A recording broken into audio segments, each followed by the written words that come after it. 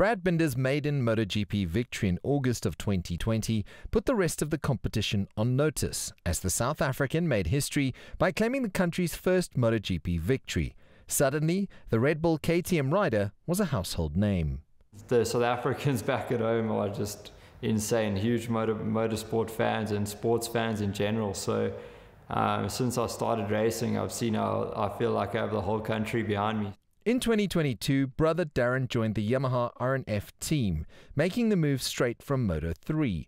Both Binders were racing MotoGP, realizing a dream that they had raced for as kids. Friend Kieran Fitzgerald says they're great ambassadors for the country and for motorsport.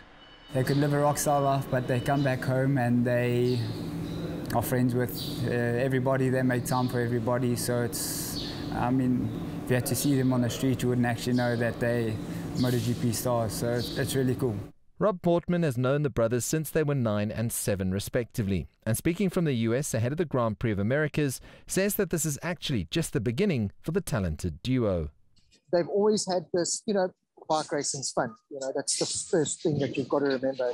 You go racing for fun, but there was always this determination side. There was always this, we are going to make it side. They are both mentally strong and they're both taking it in their stride. And yeah, uh, I think this year we're going to see big things from from Brad, and I think it's not too long before we see big things from Darryn as well. I think he's done really well. I think even exceeded his own expectations in, in some ways because he's. Uh, I don't think it's easy what he had to deal with last year. Um, a lot of people against him and, and basically fighting himself. So he's, uh, I think, really riding really well. And obviously, Brad's second in the championship, I think three or four points from the lead. So it is early stages, but um, yeah, it's really cool to have South Africans up there. The 26 year old Binder has been competing with the bigger bikes a bit longer than his brother Darryn, but admits he is still pinching himself each time he gets asked for advice by young admirers who want to get on a bike and race like their heroes. You know, just take things one day at a time. Um, you know, you've got to just try and improve and improve and get better and better. And if you keep working, you'll get there eventually.